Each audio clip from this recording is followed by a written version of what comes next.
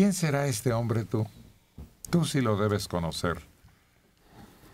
El PRD nombró como abanderado a la gubernatura mexiquense a Juan Cepeda. Que, eh, eh, hicieron a un lado eh, al que iba de cincho y ponen a este Juan Cepeda y este de nueva, esto de nueva cuenta abre más grietas en eso que todavía llaman el PRD. Juan Cepeda, quién sabe, yo no lo conozco. Era alcalde de Nezahualcóyotl.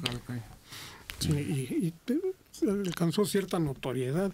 Toda esa zona tiene gran presencia el PRD.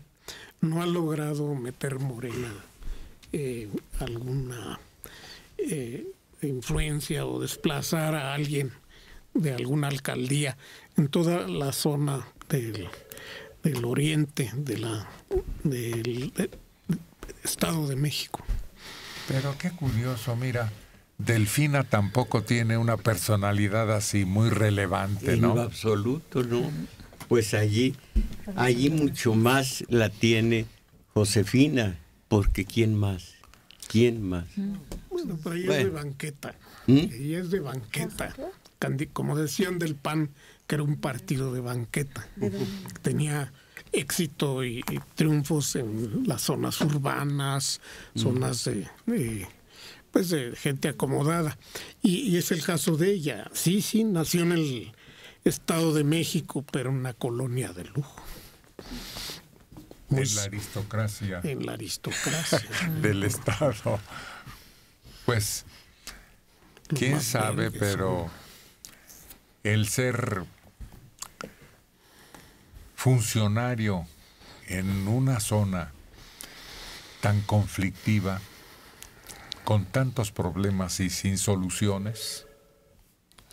Pues eh, Cepeda presume de haber tranquilizado los ánimos en el municipio de Netzahualcoyot e incluso mencionó que ha tenido premios internacionales por esas acciones en favor de la seguridad. ¿Quién sabe? Porque sabemos que Netzahualcoyotl fue víctima de extorsiones antes que muchos otros lugares, tanto en el Estado de México como aquí. Yo creo que no han andado por Nezahualcóyotl. Pero tiene zonas. Ríete del Pedregal. Ríete del Pedregal. Porque con sus casitas no significa nada las residencias que hay en Nezahualcóyotl. Hay una zona de mucho, mucho poder económico en Nezahualcóyotl. Mucho dinero. No solo por esa gente de, que es muy, muy rica, realmente. No son como los ricos viejos del Pedregal. No, estos son ricos sino que además tiene mucha gente. Pero de todos modos, ¿qué esperanzas tiene un hombre que entra con un partido que se está agarrando? Mientras él está sentado adelante, atrás y abajo de la mesa se están dando de patadas. Y entra con el cuarto lugar. Como por dónde le va a dar la vuelta a una elección así. ¿O por quién va a ceder su candidatura? Es que Hicieron tienen... sus números y lo favorecen a él. Sí, bueno. es que además tienen sus organizaciones, así como el PRI tiene sus sectores, pues eh, tantos años de predominio del PRD en esa zona, pues tiene sus organizaciones populares, sus tiene forma de enfrentar a sus archienemigos, que son los de Antorcha, que se enfrentan a él en, algunos de los municipios de, de, sobre todo Chimalhuacán, todo. Entonces están organizados para votar, para presentarse, para distribuir, digamos, los apoyos o las prebendas preelectorales, todo está listo. Pero, a ver, entre Naucalpan, Tlalnepantla y Netzahualcoyotl, ¿cuál tendrá el mayor número de votantes? Ecatepec. Ninguno de esos. Ecatepec. Ecatepec pero ganando Ecatepec y ganando Nezahualcóyotl ya prácticamente tiene. Porque durante mucho tiempo fue Neza el más grande, ¿no? Claro, pero otra vez, ¿están escogiendo al mejor? Del cuarto. Uh -huh. no, no, están esperando ganar. Bueno, quién sabe, todavía falta la campaña. Aquí una persona llamó por teléfono y algo nos explicaba en esos programas de fin de semana que tenemos canciones y cantantes en vivo. Y me dio mucha risa porque ¿de dónde nos llama usted? De Minnesota. Ah, yo dije, allá en Estados Unidos. No, mira, también, ¿sabes cómo le dicen? Eh, pero no entiendo, Minnesota, ¿qué hay uno en Nesa? ¿Cómo no? Nesota, Nesa, Mi. Nesota, mi. Ah, Es ya. mi- Es como tú dices, mi, mi jalpota. Ah, así ah, sí, sí. Nesota. O también tienes Nesa York. De Nezahualcóyotl, 50 años, Carmen Juárez García. Juan Cepeda fue presidente municipal de Nesa. En su gobierno se repavimentó, cambiaron las luminar- luminarias fundidas y nos alumbró. Además, la vigilancia aumentó mucho y por lo tanto, los asaltos bajaron. Nunca nadie había hecho nada por Nesa. Aquí se le quiere, tiene mi voto. Y pregunten a cualquier habitante de Nesa y les dirán lo mismo. Pues sí, es probable. Vamos a ver cómo le va. Lo malo es que la institución política que lo apoya está viviendo la peor crisis de su vida.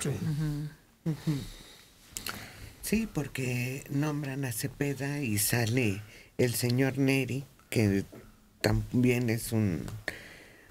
un Precandidato. un era un precandidato y se enoja porque dejan a Cepeda, que porque el proceso, que fue que las encuestas, que era el preferido de Alejandra Barrales, pero junto con él se van varios del partido y a dónde se van a sumar al ver al tricolor Y también el lío que traen con Miguel Barbosa, que bueno, él ya renunció, pero Dolores Padierna está inconforme porque dice que no se hizo una votación justa con los que tenían que estar en ese momento. Entonces, pues es un partido que se está desmoronando. Pero fíjate, con respecto a Nesa, yo fui el año pasado por allá, tuvimos un compromiso, íbamos con miedo, ¿no? No sabíamos cómo iba a estar el ambiente. Y es cierto, han cambiado mucho las calles, las colonias. Yo recuerdo que hace años pasabas por la zona de Nesa y eran unas tolvaneras espantosas. Había una especie de llanos. Cuando pasabas por ahí salías polveado. Y cuando era tiempo de lluvias, las inundaciones estaban pero de a peso. Y ahorita todo eso se ha transformado bastante. Es que es enorme, Sí. enorme. Sí, es un rectángulo de 20 por 10 kilómetros. Enorme, hay miles de colonias. ¿Te acuerdas que vendían terrenos ahí para una casita y pagabas 20 pesos mensuales o semanales, no sé? Sí, como no, Aurora, Aurora. Era un problema porque se aprovechaban los que vendían los terrenos y los vendían varias veces a los mismos. Yo tuve allá un taller de lectura y me, me hicieron llegar, aparte de, de contarme cosas, un libro que hicieron ellos acerca de cómo nació Ciudad Nezahualcóyotl, una heroicidad de los primeros, los primeros que llegaron allí donde que no había nada, absolutamente nada, un terreno infértil y cómo lo fueron poco a poco transformando hasta llegar a la cúspide que era una escuelita. Todavía no había luz eléctrica, no había agua corriente, en fin, pero sí se ha transformado muchísimo Nesa. Al principio uno creía que decir Nesa es decir las puertas del infierno. No, ya se ha cambiado muchísimo. Pues sí, es obra de sus de sus presidentes municipales en la propia en la propia en el auditorio de la presidencia estuve yo alojado allí mucho tiempo con lo que yo hago de los talleres y estaba muy bien solamente que cambiaron ya de de sexenio y todo todo se transforma para que todo siga igual Pues yo he estado mucho tiempo en esa y no creo que sea por los presidentes municipales. La gente de Nesa es muy orgullosa de ser de Nesa. Y de verdad quieren a su comunidad.